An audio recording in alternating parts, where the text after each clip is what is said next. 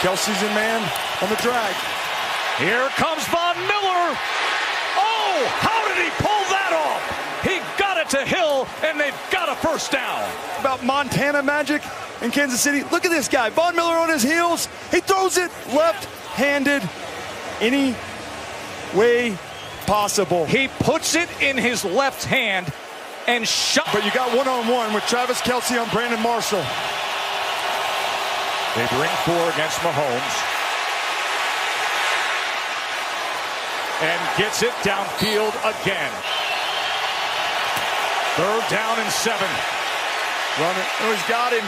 Tight end. Wide open. He strikes with Demetrius Harris again.